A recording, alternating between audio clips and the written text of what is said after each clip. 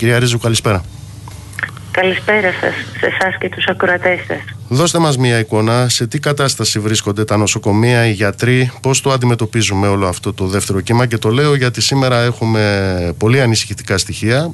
Μιλάμε για 239 διασωληνωμένους και ξέρουμε ότι ο κόσμος, ε, εσείς δηλαδή γιατροί, έχετε κουραστεί. Έχουμε ή δεν έχουμε κουραστεί, εμείς είμαστε υποχρεωμένοι να είμαστε εκεί όπως κάναμε και το προηγούμενο διάστημα και να δίνουμε τον, τον καλύτερό μας εαυτό να στεκόμαστε στο πλαυρό του λαού μας που πραγματικά ε, δοκιμάζεται. Κοιτάξτε να δείτε, ε, άκουσα πριν από λίγο και την ενημέρωση του, του Υπουργείου Υγείας, την επίσημη, την καθιερωμένη ενημέρωση. Ε, η κατάσταση δεν απέχει πολύ από το να πάρει ανεξέλεγκτες διαστάσεις. Αυξάνεται ανησυχητικά ο αριθμός των νοσηλευόμενων ασθενών στα νοσοκομεία λόγω της ε, λίμωξης COVID ε, και αυξάνεται και ο βαθμός ε, πληρότητας των διαθέσιμων πληρών μεθ σε ορισμένες περιοχές, ειδικά στη Βόρειο Ελλάδα, αυτά είναι η αυτή είναι η ενημέρωση που έχουμε από τους συναδέλφους φτάνει η πληρότητα στο 100% με αποτέλεσμα να αναγκάζονται να διακομίζουν ασθενείς ε, σε όμορα νοσοκομεία.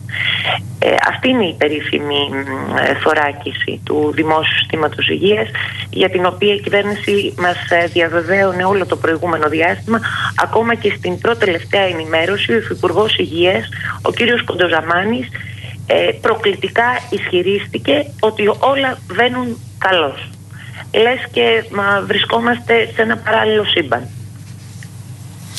Έχω την εικόνα, έχουμε την εικόνα, αυτή μεταδίδεται το, από το πρωί από τη Θεσσαλονίκη, ότι πραγματικά τα νοσοκομεία επάνω το ένα μετά το άλλο, πώς να το πω τώρα, κρασάρουν.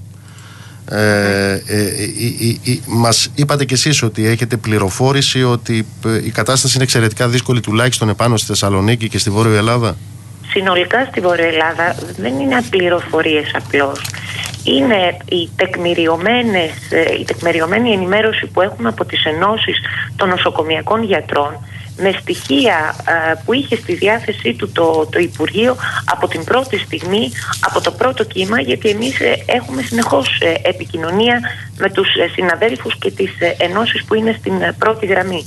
Κοιτάξτε να δείτε ότι δεν έγιναν όλα όσα θα έπρεπε ε, να έχουν γίνει, ότι δεν έγιναν οι αναγκαίες προσλήψεις ακόμα και για αυτό το κρίσιμο ζήτημα των μονάδων εντατικής ε, θεραπείας αποδεικνύεται περίτρανα.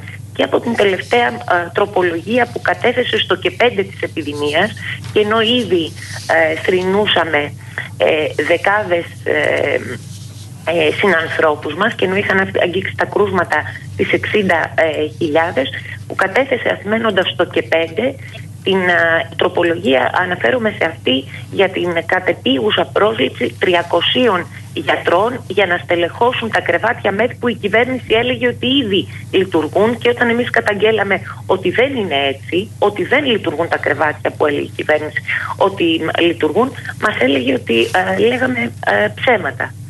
Ε, ανοιχτή ομολογία ότι δεν πήραν όλα τα αναγκαία μέτρα και έχει εγκληματικές ευθύνες η κυβέρνηση και πρέπει να πούνε συμπεράσματα. Γιατί η κατάσταση έχει φτάσει στο απροχώρητο.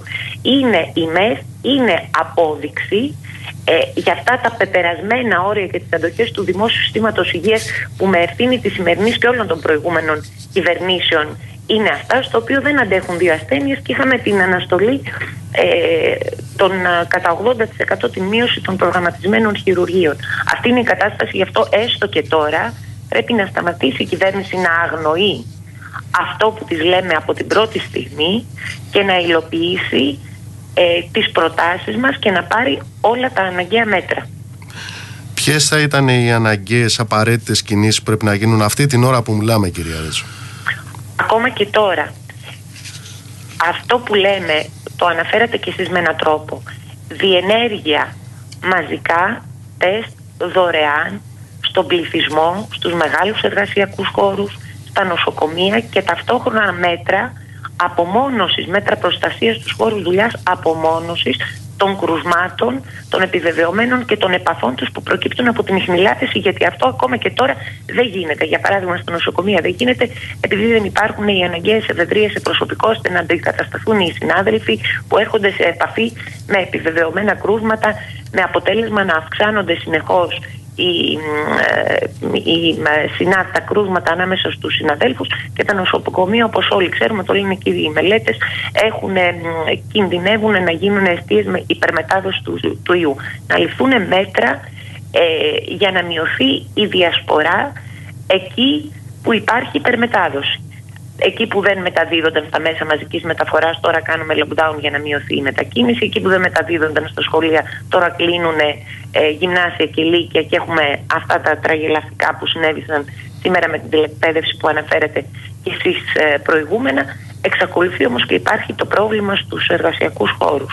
Κατεπίγουσες μαζικές προσλήψεις λέμε τώρα όλου του αναγκαίου ιατρικού και νοσηλευτικού προσωπικού έχουμε καταθέσει και συγκεκριμένη πρόταση όπως έκανε με τους συναδέλφους στο ΜΕΣ, στις ΜΕΣ να κάνει για το σύνολο των γιατρών ε, που έχουν βάλει υποψηφιότητα για τις θέσεις που έχουν ε, προκηρυχθεί ως τώρα. Και επίταξη, επίταξη επίταξη, πραγματική επίταξη χωρίς παχυλές αποζημιώσεις και ένταξη στο κρατικό σχέδιο για την αντιμετώπιση της επιδημίας του ιδιωτικού τομέα γιατί με την τελευταία τροπολογία αυτή που σας ανέφερα προηγούμενα ακόμα και τώρα του στάζει του στάζει χρήματα και διάφορα προνόμια, κίνητρα, ωφελήματα, φορολογικές ελαφρύνσεις, μπας και φιλοτιμηθούν και δώσουν κάποιες από τις ε, δομές τους σε διαφορετική περίπτωση και αν δεν τα κάνει η κυβέρνηση φέρει στο ακέραιο την, ε, την ευθύνη.